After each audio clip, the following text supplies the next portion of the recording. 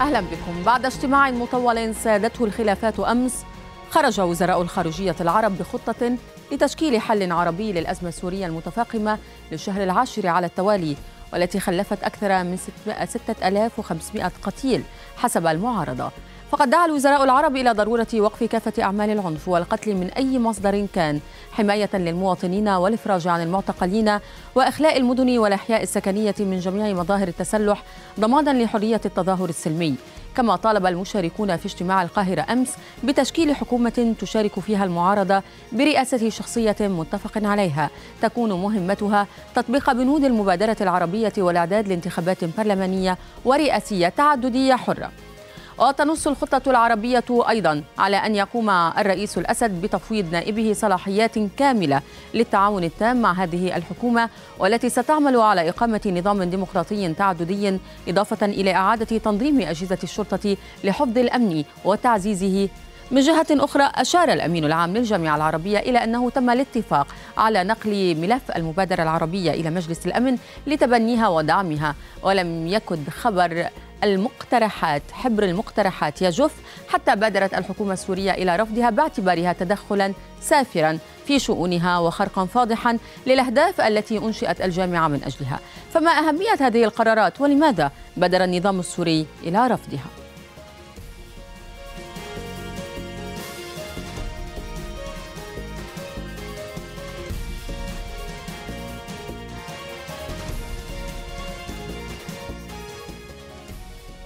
وقبل الانتقال إلى ضيوفنا لمناقشة مختلف بنود هذه الخطة نتوقف أولا مع دعوة مجلس الوزراء العرب الحكومة السورية وكافة أطياف المعارضة إلى بدء حوار سياسي جاد تحت رعاية الجامعة العربية خلال أسبوعين على الأكثر لتحقيق مبادرة تشمل تشكيل حكومة خلال شهرين تشارك فيها السلطة والمعارضة. دعوة الحكومة السورية وكافة أطياف المعارضة السورية إلى بدء حوار سياسي جاد تحت رعاية جامعة الدول العربية من آه، في أجل لا يتجاوز أسبوعين من هذه الدعوة وذلك لتحقيق المبادرة التالية تشكيل حكومة وحدة وطنية. خلال شهرين من تاريخها تشارك فيها السلطة والمعارضة برئاسة شخصية متفق عليها تكون مهمتها تطبيق بنود خطة الجامعة العربية والإعداد لانتخابات برلمانية ورئاسية تعددية حرة بموجب قانون ينص على إجراءاتها بإشراف عربي ودولي.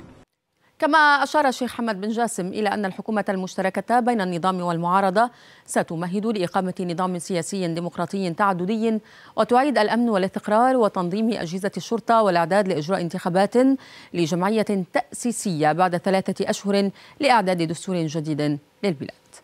إعلان حكومة الوحدة الوطنية حال تشكيلها بأن هدفها هو إقامة نظام سياسي ديمقراطي تعددي قيام حكومة الوحدة الوطنية على إعادة الأمن والاستقرار في البلاد ودعم تنظيم أجهزة الشرطة لحفظ النظام وتعزيز وتعزيزه من خلال تولي المهام الأمنية قيام حكومة الوحدة الوطنية بالإعداد لإجراء انتخابات لجمعية تأسيسية على أن تكون شفافة ونزيهة برقابة عربية ودولية وذلك خلال ثلاثة أشهر من قيام حكومة الوحدة الوطنية.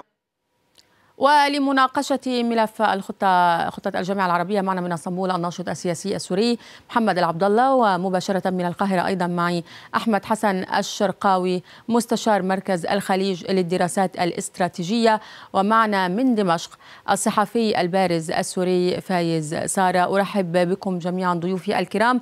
أبدأ معك سيد عبد الله آه، كمعارضة هل آه، أنتم راضون عن قرارات الجامعة؟ العربية. طبعا قرارات الجامعة العربية تحمل نقطتين رئيسيتين هامتين وهما في صالح الثورة. اولا أن تدعو جميع الدول العربية بالإجماع باللجنة الوزارية العربية بشار الأسد إلى التنازل عن صلاحياته وتكليف صلاحياته إلى نائبه من أجل آه، من أجل تشكيل وحدة آه، حكومة وحدة وطنية، هذا يعني أن هناك أصبح أكثر فأكثر إجماع عربي على أن هذا الرئيس غير شرعي وأن خطونا خطوة باتجاه آه، إسقاط هذا الرئيس باعتباره الرئيس غير شرعي. ثانيا حالة الملف إلى مجلس الأمن وطلب إلى مجلس الأمن دعم وتبني المبادرة العربية، هي حالة شبيهة جدا بالمبادرة الخليجية التي التي كانت التي اجريت في اليمن حيث طلبت الدول الخليجية والجامعة العربية من مجلس الأمن دعم هذه المبادرة، دعم مثل هذه المبادرة مع القرارات الجامعة العربية التي تنص على على موضوع العقوبات إن لم تلتزم الحكومة السورية آه، بقرارات الجامعة العربية أو باتفاقية الجامعة العربية من ناحية وحديثها أيضا عن إجراءات لإقرار العدالة وهذه قد يفهم منها أن مجلس الأمن قد سأتحدث في الشق الثاني من الحلقة عن قرارات مجلس الأمن. دعني الآن في موضوع الحكومة. حكومة مشتركة بين النظام والمعارضة. من هي المعارضة التي ستشارك؟ لا لا أعتقد أن هناك من في المعارضة من سيشارك الحكومة السورية أو النظام السوري في أي حكومة وحده وطنية لأسباب كثيرة، اولا الحكومة السورية يدها ملطخة بالدماء أو النظام السوري بدماء حوالي 7000 شهيد من مختلف الأراضي السورية، ثانيا لا يوجد جهة في المعارضة تمثل الشارع الذي بمعنى كلي بمعنى أنها تستطيع أن تحتوي مطالب الشارع إن دخلت في حكومة وحده وطنية مع النظام، الشارع مطالبه واضحة بإسقاط هذا النظام ولن يقبل بحكومة وحده نعم. وطنية، ومن ومن هذا المنطلق لا وجود لقوى سياسية. سياسية تدخل مع النظام في صفقة سياسية أو في حكومة وحدة وطنية تستطيع أن تطلب إلى الشارع أن يتوقف عن التظاهر أو أن تستطيع أن تلتف على مطالب الثورة. طب دعني أنتقل إلى صحفي البرز السوري فايز سارة سيد فايز مساء الخير. آه، ما رأيك في الخطة العربية؟ هل تشكل مخرج للأزمة أم لا؟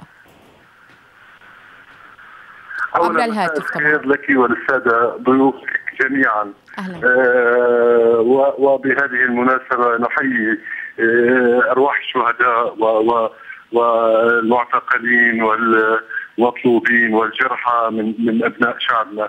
آه، بطبيعة الحال هذه المبادرة آه، هي السقف الذي وضعته الجامعة العربية لمعالجة الأزمة في سوريا.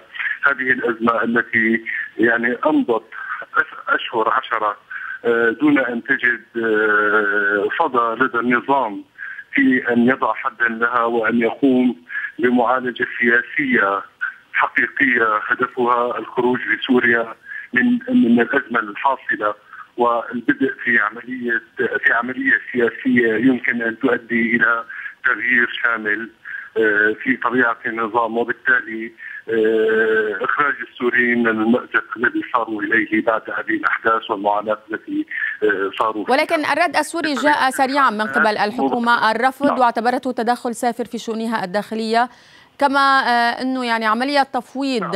أن يقوم الرئيس بتفويض صلاحياته إلى نائبه، طب الآن هنا السؤال ما الفرق بين نائب الرئيس والرئيس؟ يعني حتى سيد فاروق الشر هو عضو يعني في آه، حزب البعث أيضا. يعني هل المشكلة فقط بالرئيس أم في النظام نعم. ككل؟ نعم.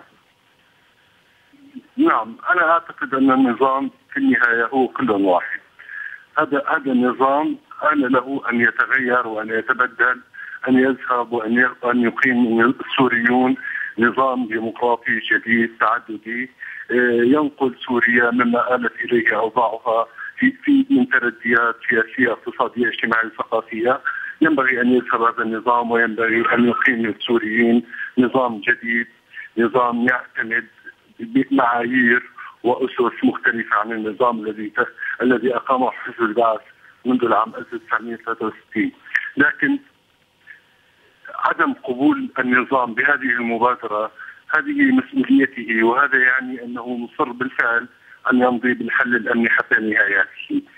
كان كان كان الاجدر بالنظام أن يقبل المبادرة العربية رغم ما أشرت إليه من من أن النظام يحافظ بمعنى من المعاني على على جوهره وعلى فترة انتقالية يمكن أن تتغير فيها سوريا بطريقة سلمية هادئة ربما أو بأقل الخسائر لكن النظام مصر على البقاء في إطار الحل الأمني لا الحل السياسي بل وحتى إذا كان الحديث عن حل سياسي فهو حل سياسي في إطار النظام نفسه ربما لن يغير ولن يبدل من طبيعته طب هل هذا رأي المعارضة بالداخل؟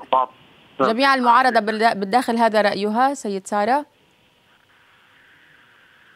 يعني أنا أعتقد يعني حتى الآن لا, لا يمكن القول أن هذا رأي المعارضة وأنا لا أمثل عمليا المعارضة أنا أنا كما سبق وقدمت صحفي معارض في سوريا آه، آه، صحيح أني أمضيت قسم كبير من حياتي داخل المعارضة لكني لا أمثل المعارضة وبالتالي لا أستطيع أن أقول أن هذا هو رأي المعارضة.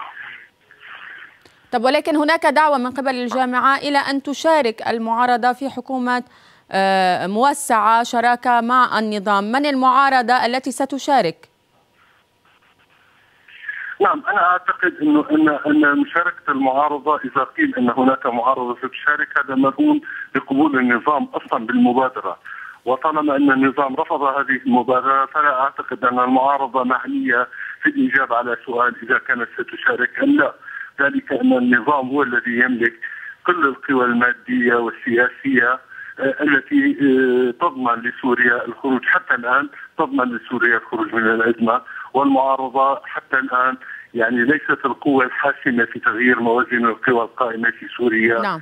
آه وهذا وهذا أمر معروف ليس فقط للجامعة العربية وإنما المعارضة نفسها طيب أنتقل إلى القاهرة مع سيد أحمد حسن الشرقاوي مستشار مركز الخليج للدراسات الاستراتيجية. لأسألك عن رؤيتك أنت في طرح الجامعة العربية وهل يعتبر الحديث الآن عن هذه النقاط من قبل الجامعة بداية الحديث عن مرحلة ما بعد؟ الأسد ربما هذا ما اعتبره النظام في سوريا؟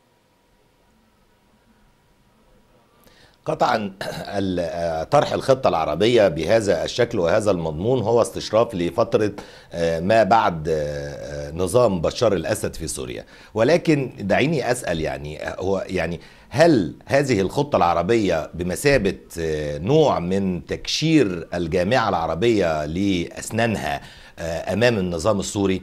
واجابتي بوضوح أنه هل الخط هذه الخطة بمعايير الجامعة السابقة إذا كانت جامعة هذه الجامعة التي كانت دائما وابدا نادم للطغاة نعم إذا كانت هذه خطة تكشر فيه عن أسنانها الجامعة العربية للنظام السوري ولكن بمعايير الجامعة العربية. أما بمعايير ثورات الربيع العربي معايير الدول المتقدمة والمتحضرة فقد تغاضت هذه الخطة أو يعني أهملت إهمالا يصل إلى حد التقصير في آه، التعامل مع مسألة الوقف الفوري لإراقة الدماء. هناك آه، من يقتل يوميا ودماء تراق في آه، سوريا من من الشعب من جانب النظام ضد شعبه وبالتالي لم تتعامل الخطة مع وقف فوري وفشلت للأسف يعني كل حسب رؤيتك مع ماذا مع بماذا تعاملت؟ فيه بس. لو سمحت لي سيد أحمد يعني أنت تقول بأنها لم تتعامل مع الوقف الفوري ولكن الجامعة العربية قالت هذا الذي أمامنا نعم. لا يمكننا فعل أكثر من ذلك كيف عليها يعني أن ما الذي عليها أن تقوم به؟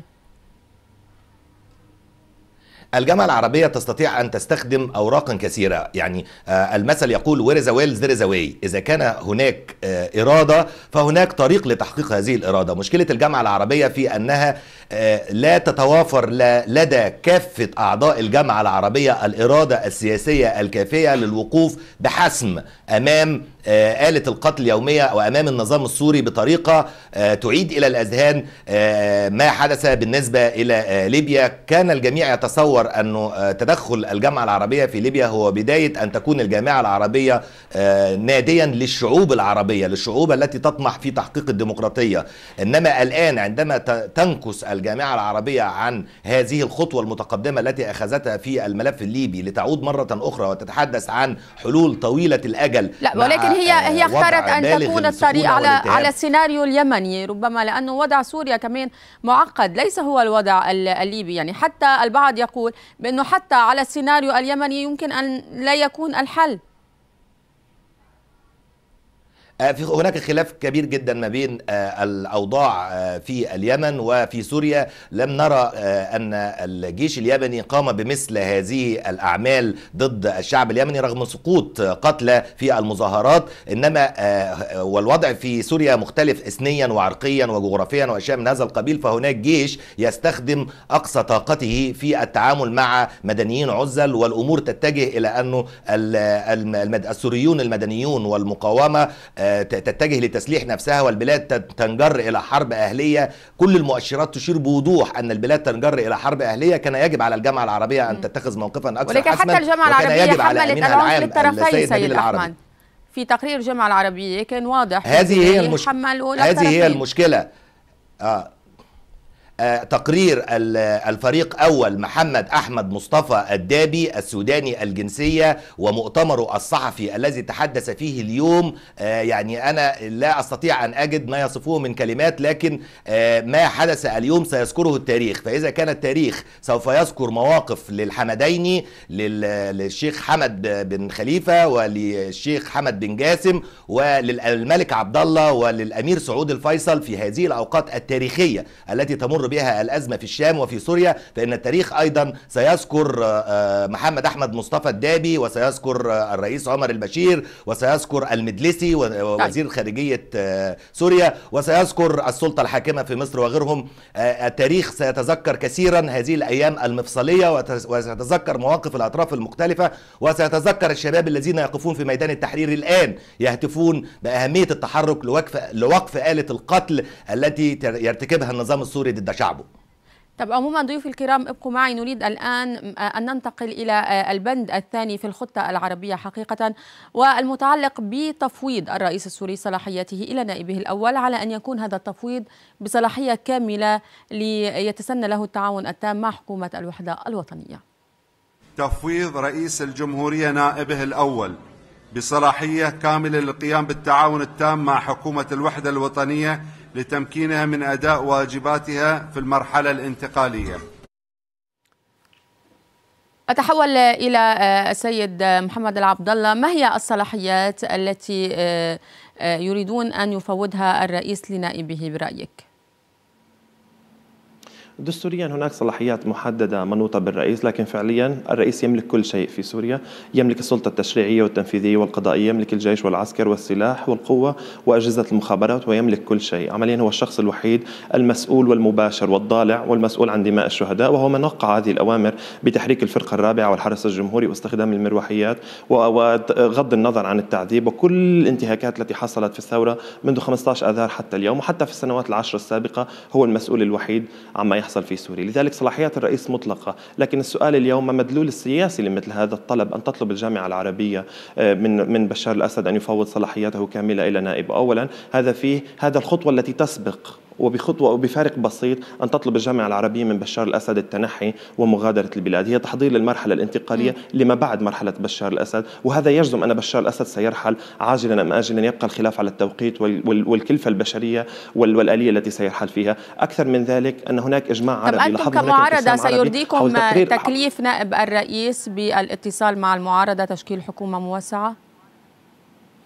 لا سيدتي هو النظام رفض ذلك مباشرة يعني عشان حملة أنا أتحدث الآن عن المعارضة على الجامعة يعني العربية. موقف ال- الحكومة معروف لا. موقف النظام ولكن أتحدث كمعارضة نعم سيدتي إذا كان النظام يرفض مثل هذا لن يفوض الصلاحيات ولن يسمح لنائبه أن يقوم بمثل هذا العمل ولن يقبل مثل هذه المبادرة وقام بشتم الناس. يعني ما فائدة أن تقوم أن تقول المعارضة أي أي يعني أي موقف سياسي إن كان إيجابي أو سلبي. المبادرة للنظام لأن النظام هو من يق- يقترف القتل وهو من قام بإفشال آه، بنود المبادرة العربية. المبادرة العربية لم تتحدث فقط عن مراقبين تحدثت عن أربع أمور أساسية يمكن المراقبين أن يسجلوها. هي سحب إيقاف القتل سحب الجيش السماح للإعلام بالدخول والسماح بالتظاهر السلمي النظام لم ينفذ أي من هؤلاء يعني لم يسحب الجيش قام باللعب على المراقبين طب العرب هذه قام كلها معروفة أنا تحدثت عن نقطة نقل الصلاحيات لنائب الرئيس أنتم كمعارضة نعم هل. يرضيكم؟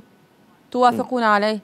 سيدتي المعارضة طرح المعارضة. طرحت أكثر نعم مباشرة المعارضة طرحت أكثر من ورقة سياسية. محورها أننا لا نتفاوض مع النظام إلا على مرحلة انتقالية تقضي بخروج بشار الأسد من السلطة. إن كان تفويض السلطة لنائب الرئيس آه، حتى يخرج بشار الأسد من السلطة ثم يليه خروج نائبه من السلطة بمرحلة انتقالية تخرج هذه الطبقة السياسية الفاسدة والقاتلة من السلطة إلى غير رجعة نحن لا نتردد في قبولها. لكن هذه الحال غير واقعية في سوريا. لا الرئيس سينقل صلاحياته لنائبه ولا نائبه هو أفضل منه. نائبه ضالع في القتل وضالع في تغطية النظام سياسيا. فاروق الشرع من درعا وابن درعا التي حصلت فيها مجازر ضد الإنسانية ولم ينبت ببنت الشفة عما يحصل في مدينته. فيصل المقداد نائب وزير الخارج نائب أو وزير الخارجية من درعا أيضا. 35 شخص معتقل في عائلته. خمس شهداء. لم يتحدث بكلمة واحدة. وذهب وشتم وفد المعارضة في مجلس حقوق الإنسان في الأمم المتحدة في جنيف. كل الطبقة السياسية في النظام واحدة وتتعامل بطبقة واحدة. من يريد منهم أن يغادر النظام واضح كان قد تحدث قبل عشرة أشهر. أما اليوم بعد سبعة ألاف شهيد تقريبا. وبعد تقريرين بيان لمجلس حقوق الإنسان في الأمم المتحدة يتحدث عن مجازر ترقى إلى جرائم ضد الإنسانية ويطلب بمحكمة جنايات دولية للطبقة السياسية الحاكمة في سوريا. لا أعتقد أن هناك فرق سياسي بين الرئيس وبين نائبه وإن كانت الجامعة العربية طيب. قد تبنت مثل هذه المبادرة النظام رفضها, رفضها وصلت فكرتك قبل أن أتحول حقيقة إلى فاصل. أريد أن أتحول إلى آه، سيد فايز سارة. سيد فارس أعود معك فايز أعود معك إلى هذه الصلاحيات. ما هي اولا هذه الصلاحيات؟ قال لنا السيد عبد الله بعضا منها ولكن إلى أي مدى فعلا عملية نقل الصلاحيات ممكن أن تتم في ظل الجميع يقولون بانه هذا غير ممكن. نعم آه، أنا أعتقد أن الصلاحيات لا يمكن أن تنقل إلى نائب الرئيس في نظام مثل نظام سوريا ذلك أن الصلاحيات صلاحيات الرئيس تبدو صلاحيات مطلقة. ما هي هذه الصلاحيات؟ لا يمكن نقلها إلى إلى إلى شخص آخر. هكذا تم تفصيل الصلاحيات في سوريا وهذا ليس الآن وهذا منذ زمن طويل منذ أن منذ أن وضع الدستور السوري الحالي وال وال والذي يعود إلى العام 1973 منذ ذلك الوقت أعطي منصب الرئاسة صلاحيات كبيرة. هذه الصلاحيات لا يمكن أن تنقل إلى شخص آخر. طب هذه الصلاحيات الكبيرة ما هي؟ يعني يعني هو هو يعني رئيس الجمهورية في سوريا هو القائد العام للجيش والقوات المسلحة. هو إضافة إلى إلى إلى مكانته في رئاسة الجمهورية هو الأمين القطري والأمين العام لحزب البعث الحاكم وهو رئيس الجبهة الوطنية التقدمية وقيسي على هذه الأمور التي تتشعب يعني في مختلف الاتجاهات وبالتالي تجعل من منصب الرئاسة منصب يعني في في موقع الحكم المطلق. وهذه الصلاحيات لا يمكن لهذا السبب أن تنقل إلى أي شخص آخر. طيب وأيضا السؤال يعني آه، حتى في ظل هذا الرفض الكبير آه، من آه، دمشق الآن برأيك ما هي البدائل المطروحة؟ يعني أنا أعتقد حتى الآن لم تنضج عمليه لم تنضج عملية اختيار بدائل بالنسبة للنظام سوريا ما زال الخيار الأساسي للنظام هو الحل الأمني العسكري. أه، وحتى هذا الخيار عندما يجري الحل عن يعني كلام عن عن تعديلات سياسية عن تطوير سياسي فهو يعني يتضمن حصرا عملية الحفاظ على جوهر النظام الذي هو نظام عسكري أه، في طبيعته نظام استبدادي في طبيعته. لا يمكن أن يتحول ان يجري تحولات ديمقراطيه ولا نعم. يمكن ان ان أن يحدث تحولا في الحياة العامة في سوريا طالما ان أنه ليس هناك من موجبات في تقديره بالتأكيد عملية التحول أو عملية تغيير الخيارات السياسية بالنسبة للنظام يبدو أنها بحاجة إلى وقت آخر وهذا يعني أن أن مزيد من المعاناة سيمر بها السوريون قبل أن يقتنع النظام بأنه ينبغي أن يجري تحول ولكن سياسي. يعني سيد فايز أيضا يعني هنا ألم تكن الجامعة العربية تعلم بطبيعة النظام في سوريا حتى تطلب مثل هذا الطلب يعني حتى نائب الرئيس نفسه سيرفض هذا الطلب في سوريا نعم نعم نعم نعم بالتأكيد. نعم بالتأكيد. أنا أعتقد أن أن أن الجامعة العربية لم يكن بمقدورها أن أن تضع حدودا مختلفة. عن هذا عن هذه الحدود التي رسمتها المبادرة. هي تتوخى أن تقول كلمة وتمضي بغض النظر إذا كانت هذه الكلمة قابلة للتنفيذ أو لا. وهذا وهذا والدليل على هذه على هذا على هذا التوجه أن الجامعة العربية كانت أقرت في مبادرتها الأساسية محتويات محتويات حقيقية لمعالجة الأزمة وهي وقف القتل كما أشير في النقاش هي وقف القتل وسحب القوى المسلحة والسماح بالتظاهر إلى آخره. لكن بعد أشهر من طرح هذه المبادرة لم يستطع النظام أن يمضي في أي خطوة رغم موافقته على المبادرة العربية لم يستطع أن يمضي خطوات جدية على هذا الطريق. وبالتالي هذا جعل اللجنة الوزارية العربية ومجلس الوزراء العرب جعلهم يتجاوزون كل هذه القضية اللي طرحوا المبادرة الجديدة التي أعتقد انها أنها ليست موضع تطبيق ولا نقاش ولا موافقة من جانب السلطات السورية. لكن آه، ربما تكون هي فرصة ليتقدم الوزراء العرب اللجنة الوزارية العربية المعنية بمعالجة الملف السوري أن تتقدم بخلاصات رأيها وكما بينت آه، آه، اللجنة في اجتماعها الأخير أو في مؤتمرها الصحفي أمس وبعد اجتماعاتها التي جرت في القاهرة أنها ستنقل الملف إلى مجلس الأمن الدولي باعتبار هذه المبادرة هي الحدود العربية لمعالجة الأزمة في سوريا ولكن ستنقله بالمبادرة العربية عموما. سأتحدث عن موضوع مجلس الأمن بشكل موسع ولكن أريد أن أنتقل إلى آه، السيد أحمد حسن الشرقاوي آه، من جديد إلى القاهرة. كنا نتحدث بأنه هذه يعني هذه النقطة تحديدا من الصعب تنفيذها في سوريا. ولكن هل أنت ترى الآن فيما طرح بالأمس وما صدر عن آه، النظام السوري اليوم خروج من الأزمة أم تعقيد أكثر للأزمة؟ أعتقد أنه يعني في تقديري أنه يعني لن يتم الخروج من الأزمة قريبا بمثل هذه الخطة التي طرحتها الجامعة العربية. ولكن معالجة الأزمة في تقديري تحتاج إلى آه، حل حاسم وناجز وجامع ويؤدي بداية إلى وقف آلة القتل اليومية لأن هذا ما يخدش كبرياء السوريين ويخدش ضمير كل الأحرار في العالم. آه، على الجامعة العربية وعلى أمينها العام السيد نبيل العربي أن يكون له حظا من اسمه. وأن يكون عربيا وأن يكون نبيلا وأن يتدخل في هذا الأمر حتى يحسم آلة القتل اليومية حتى وإن أدى ذلك إلى أن يكلفه منصبه. الأوضاع العربية والوضع في سوريا على الأرض لا يحتمل موائمات وتكييف.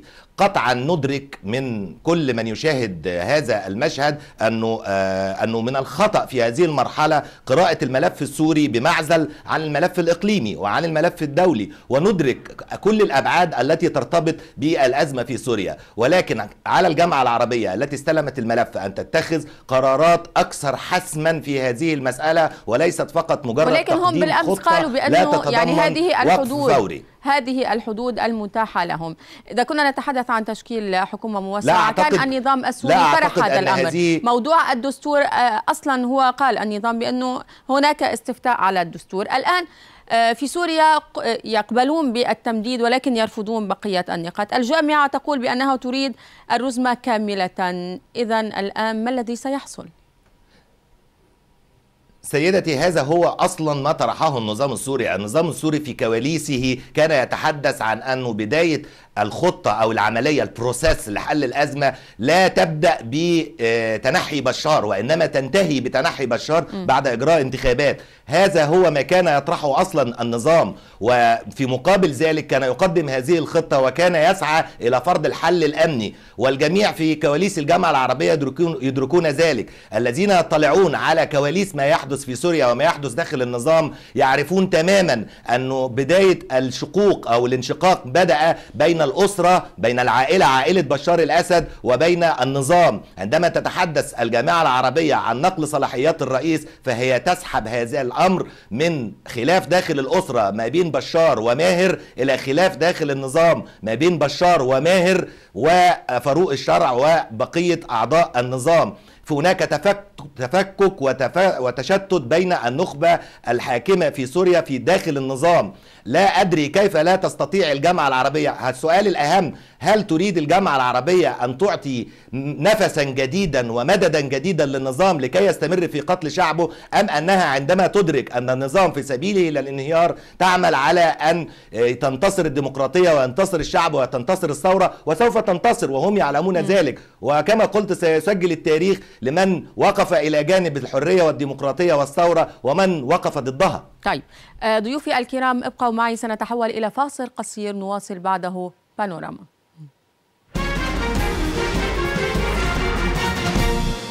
أحييكم من جديد. نتوقف الآن مع ما قاله الأمين العام للجامعة العربية حول نقل ملف المبادرة العربية إلى مجلس الأمن لدعمها. وأنه للمرة الأولى يتم خلالها تكليف مبعوث للأمين العام لمتابعة العملية السياسية في سوريا مشددا على ضرورة أن تبدأ العملية السياسية الآن. أنه لأول مرة تم تكليف الأمين العام لجامعة الدول العربية بأن يعين مبعوث خاص لمتابعة العملية السياسية. القرار يشمل آه، عملية سياسية منها خطوات محددة وهناك أيضا توقيتات محددة.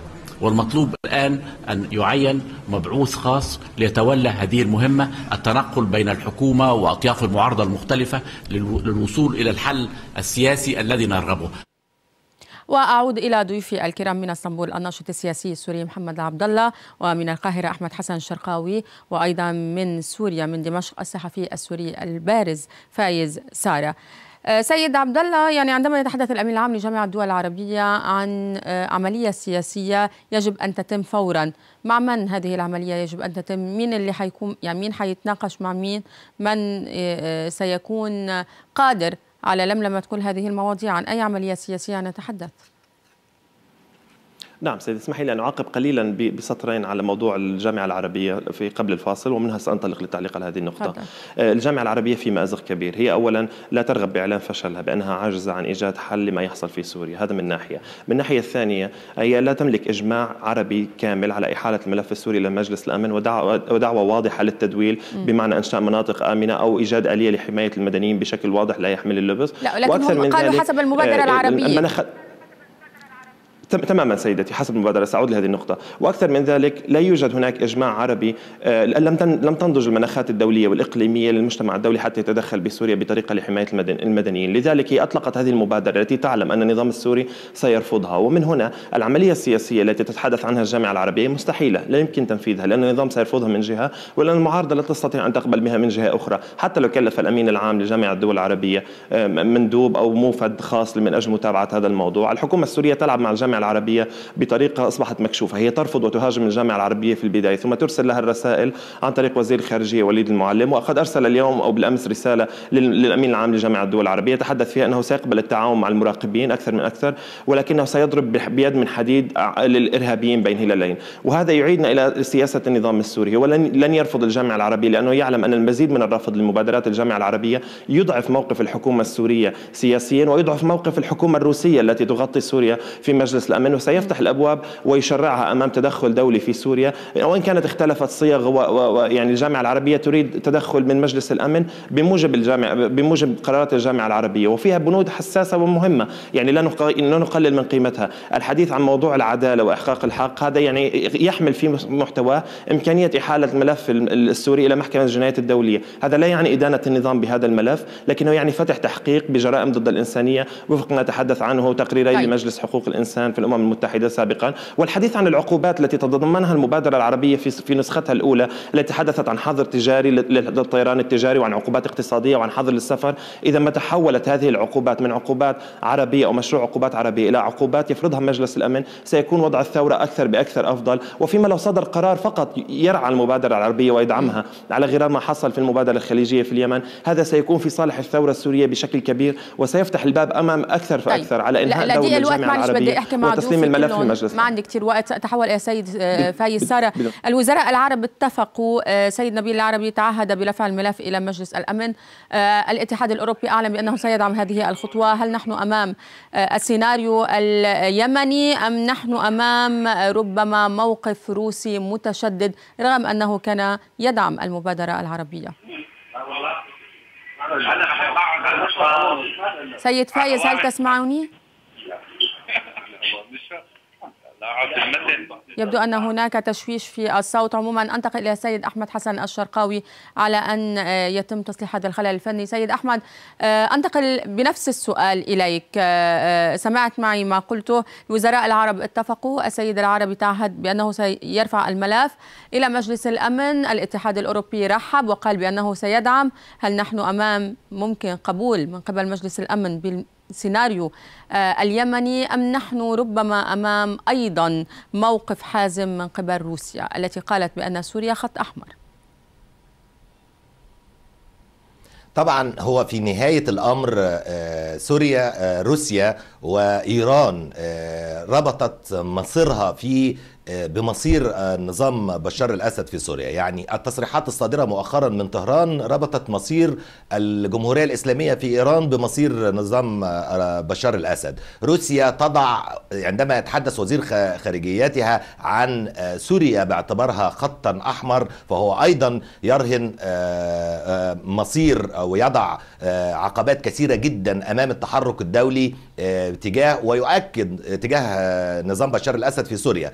ويؤكد مرة جديدة على أن روسيا سوف تستخدم الفيتو كما استخدمته قبل ذلك مع الصين لوقف قرار إدانة في مجلس الأمن. على أي الأحوال طبعا في كل الأمور ندرك أن الأزمة في سوريا ليست منبتة الصلة عن التحولات الاستراتيجية الموجودة في المنطقة ككل والتفاعلات داخل الإقليم وعلى المستوى الدولي ستحكم مسارات واتجاهات تسوية هذه الأزمة خلال المرحلة القليلة ربما المقبلة. ولكن مسألة فراغ الاستراتيجي في العراق وخروج الولايات المتحدة الأمريكية وزيادة وبروز الدور الإيراني الذي تقف وراءه روسيا وصول روسيا إلى البحار الدافئة في البحر المتوسط واستخدام ميناء طرطوس وغيرها من التسهيلات التي يقدمها النظام السوري وفق آلية العالم فيها كله يتحول خلال هذه الفترة لتوازنات جديدة وتبديل في المواقع في هذا الإقليم. أعتقد أنه مجلس الأمن زحزحة موقف روسيا تم من خلال البعثة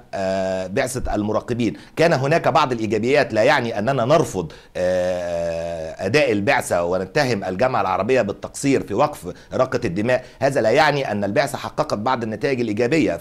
فزحزحة الموقف الروسي. نعم. كان نتيجة للجهد عموما طيب دعني أتوقف أيضا لضيق الوقت لأنه إعلان بدي... فشل. تفضل بس باختصار لو سمحت ما عندي كتير وقت. إعلان فشل الجامعة العربية فعلا سيسبب احراجا لها. ولكن كنا نحتاج إلى أن يقف الضمير العربي أمام مسؤولياته في هذه اللحظة المهمة جدا في تاريخ العرب وبالنسبة لبلد مهم جدا للعرب مثل سوريا وبلاد الشام. كنا نحتاج من الأمين العام لجامعة الدول العربية وهو مصري. كنا نريد أن نفتخر بكل ما هو مصري وما نعم. كل وكل ما هو عربي في مثل تلك الأزمات التي سيتجاوزها التاريخ وستنتصر الثورة. طيب عموما دعني اتوقف الآن طالما نتحدث الآن عن امين عام للجامعه العربية نتوقف مع هذا الحوار بين الصحفي السوري تمام البرازي من تلفزيون سوريا الغد والأمين العام للجامعه العربية ورئيس الوزراء القطري وزير خارجية قطر أيضا. فقد اتهم الصحفي البرازي الجامعة العربية بالعمل على إنقاذ النظام السوري من خلال عرقلة تدويل الأزمة السورية إضافة إلى أن الجامعة العربية لا تستمع إلى صوت الشعب السوري المطالب بإعدام الرئيس وكان هذا الرد. فلنستمع إلى هذا الحوار. الشعب السوري يقول يريد إعدام الرئيس ويريد طيب تفضلوا النظام. يعني لا أفهم عليكم. ومين مانعكم؟ إحنا منعناكم؟ لا أن تدونوا الأمر. لماذا لا تضعوه الذهاب إلى مجلس الأمن. ما إحنا ذاهبين لمجلس الأمن. لتعطوه لتعطوه مبادرتكم الذي تعطيه نظام أمد النظام. شو الكلام هذا؟ لا بالنظام لو كان لو كان مجلس الامن يريد يريد عمل شيء آخر كان قام به. الجامعة العربية لا تفرض على مجلس الأمن. مجلس الأمن لديه صلاحيات كاملة. ما هي الخطة بي لديكم؟ ما هي الخطة؟ سيد محمد عبد الله لو كان مجلس الأمن يريد أن يقوم بأي عمل لقام به ليس بانتظار الجامعة العربية. ما ردك؟ هذا هذا هذا بالضبط يعزز ما قلته قبل قبل أن تحيلي لضيفك في القاهرة، الجامعة العربية قلقة من إعلان فشلها، هي مدركة أن ليس هناك انفراج سياسي والطريق أمام مجلس الأمن ليست معبدة وليس لديها إجماع عربي كامل على إحالة الملف للتدويل وبالتالي إحراج موقف روسيا لا ولكن قال إذا أنتم كمعارضة تريدون الذهاب إلى مجلس الأمن اذهبوا. تماما سيدتي. الطريق أمام مجلس الأمن غير معبده ولذلك مجلس الأمن غير قادر على فتح مثل هذا الملف لحتى لا نحظى بفيتو روسي آخر. اليوم الصين خارج هذه المعادلة باعتبار أن ضغوطات اقتصادية بالنفط السعودي بعد خروج إيران من النفط بتقليل كمية النفط التي تصدره لكن روسيا لا يزال موقفها سيء وسلبي. ومن هنا على الشعب السوري المتظاهرين نناشدهم بإحراق صور ميدفيديف وبوتين قدر الإمكان وإرسال هذه الفيديوهات الانترنت حتى نضغط على الحكومة الروسية أكثر فأكثر. ومن, يعني ومن هنا على علينا الضغط في الولايات المتحدة. روسيا سيد محمد. واضح موقفه سيدتي في سيدتي في أول لقاء لا لا صحيح. في لكن في لقاء سيرجي لافروف وزير الخارجيه الروسي مع وفد المجلس الوطني السوري. أول كلمة قالها سيرجي لافروف لماذا تحرقون العلم الروسي؟ نحن مستائين من هذا التصرف. فاجاب وفد المجلس الوطني السوري ان أننا مستاءون من تصرف روسي وروسيا تغطي قاتل يقتل الشعب الروسي. الشعب الروسي يتفهم ما يحصل. إن لم يرى علمه يحرق لكنه رأى صور مسؤوليه تحرق. ويمكن التعويل على هذا الأمر. طبعا هذا لن يغير موقف روسيا بالكامل. روسيا تطلب ثمن سياسي كبير جدا لتضحي بالنظام السوري. ما هو تطلب من الولايات المتحدة التنازل عن برنامج عن, التنازل عن برنامج الدرع الصاروخية وهذا نعم. كان محور اللقاء الذي جمع الرئيس أوباما بالرئيس ميدفيديف في هونولولو من حوالي شهرين. 70% من اللقاء كان الحديث عن ماذا تريد روسيا من الولايات المتحدة مقابل التضحية بالنظام السوري. من سيضمن صفقات السلاح لروسيا؟ من سيضمن دور استراتيجي أكبر لروسيا؟ وماذا ستقدم الولايات المتحدة لروسيا مقابل التنازل عن النظام السوري؟ بالمقابل الولايات المتحدة التي هزمت في أفغانستان وفي العراق وخرجت من المنطقة خالية الوفاض لن تقدم لروسيا شيء ستقدم لها صفر وبالتالي ستترك روسيا طيب. حتى حتى تخجل من نفسها أمام الرأي العام العالمي والضغط العالمي وهذا للأسف سيكلفنا الكثير من الشهداء لتغيير الموقف الروسي. سيد أحمد حسن الشرقاوي أيضا ما رأيك فيما استمعت إليه؟ سيد العربي يقول إنه يعني الطريق ليست بهذه السهولة إلى مجلس الأمن لو كان مجلس الأمن يريد أن يقوم بأي أمر لقام وعلى المعارضة إذا كانت تريد الذهاب فلتذهب يعني الجامعة العربية مش منعتها مجلس الأمن يعني لا يحتاج لمن يدعوه إلى التدخل في في الأزمة في سوريا. مجلس الأمن هناك انتهاكات لحقوق الإنسان ومجازر وقتل يومي وهو مدعو للتدخل بشكل من الأشكال. ولكن تدخل مجلس الأمن مبني على حسابات سياسية دقيقة فانا قلت سابقا أن التدخل الدولي في في المسألة في سوريا هي تماما تشبه يعني أنت توافق بانه مجلس الأمن نفسه لا يريد أن يفعل شيء. سيد أحمد. مجلس الأمن ليس على استعداد في هذا الوقت لكن ما ألوم عليه هو أن الجامعة العربية لم تتحرك تجاه تركيا مثلا خلال الفترة الماضية وتركيا الصمت المريب الذي اتخذته أنقرة خلال الشهرين الماضيين يحتاج إلى تفسير. هناك علامة استفهام كبيرة حول الصمت التركي. كان هناك تعويل على الموقف التركي في إقامة مناطق آمنة تمتد داخل الحدود السورية داخل حدود سوريا وتصبح ملاذا امنا للاجئين الفارين من بطش النظام السوري. هذه الفكرة توارت واختفت ولازت تركيا بالصمت وخرج وزير خارجيتها أحمد داود أغلو منذ ساعات يتحدث أننا نحن سنوافق على كل ما سيتفق عليه العرب ومجلس وزراء الخارجية العرب. كنا نريد من الجامعة العربية أن تذهب إلى إلى تركيا أكثر تتقارب مع تركيا أكثر تنسق معهم أكثر. لا ندري ماذا حدث في كواليس العلاقات ما بين جامعة الأمانة العامة لجامعة الدول العربية تحديدا والحكومة التركية. هناك شيء ما حدث بين الأمانة العامة للجامعة العربية وتركيا. ربما هذا هو ما يفسر لنا الصمت المريب لتركيا خلال الفترة الماضية. بعد أن كانت متحمسة جدا وكان كان اهتمام أنقرة على أعلى المستويات. وكان الرئيس رئيس الوزراء التركي يتحدث إلى بشار الأسد أكثر من مرة ويصدر تصريحات نارية بالغه القوة. ماذا حدث للموقف التركي؟ شكرا لك من القاهرة سيد أحمد حسن الشرقاوي مستشار مركز خليج للدراسات الاستراتيجية ومن اسطنبول محمد العبد الله وأشكر أيضا سيد فايز سارة كان معي من دمشق. وإلى هنا تنتهي هذه الحلقة من بانوراما لليلة. موعدنا يتجدد غدا طبعا في ملفات أخرى. شكرا لكم وإلى اللقاء.